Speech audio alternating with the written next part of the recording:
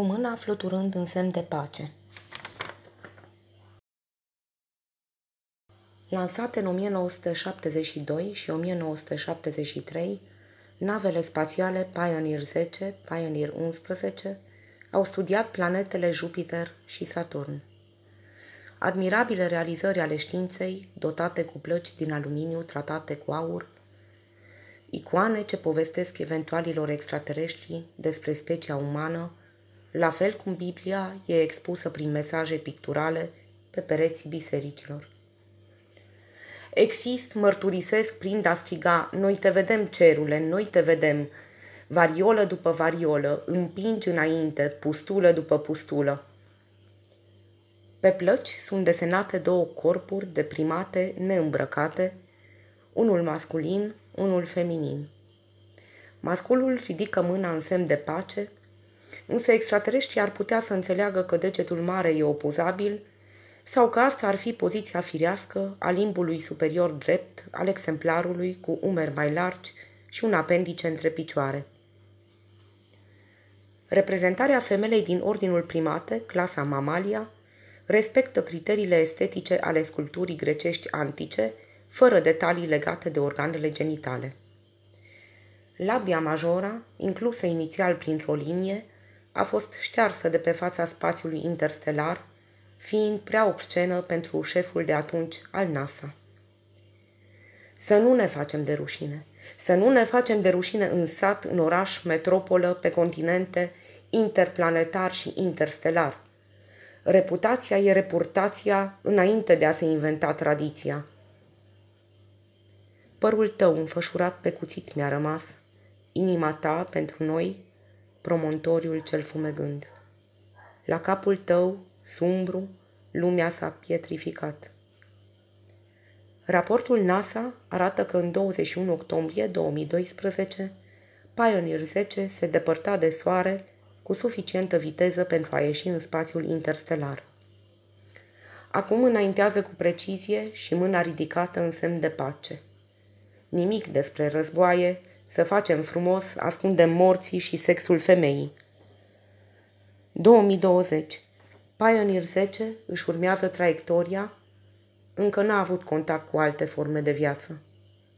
Pregătiți pentru marea întâlnire cu o poveste despre specia umană. Avem istoria, literatura, psihiatria și ipocrizia. Avem și știința. Avem cuvința. Neagră se deschide brusc poarta, eu cânt Cum am trăit noi aici? Și învârt securea de argint în vânt în fața stelei mici. Noi te vedem, pământe. Noi te vedem.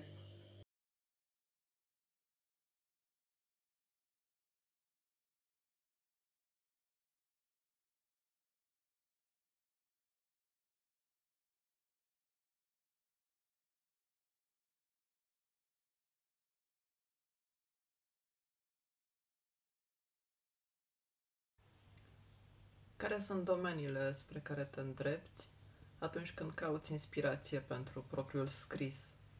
Ai sesizat și în textele lui Celan influențe din domenii variate?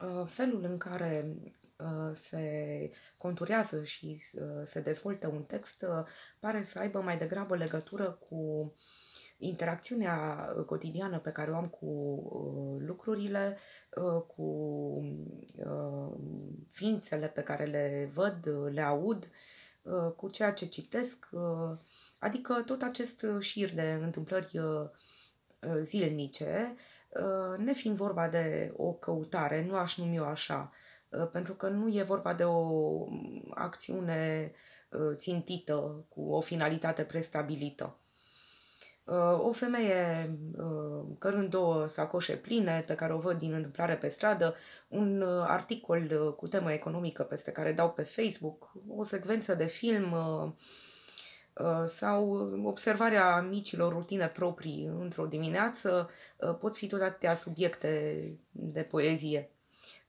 Până la urmă, cred că orice poate fi punct de pornire pentru text, atâta timp cât uh, provoacă asocieri în mințile noastre uh, și generează un discurs.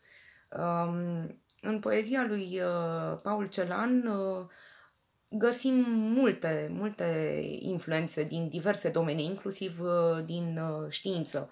Însă, cred că domeniul lui prin excelență este cel al limbajului, pe care îl dezarticulează și îl rearticulează în acea manieră unică.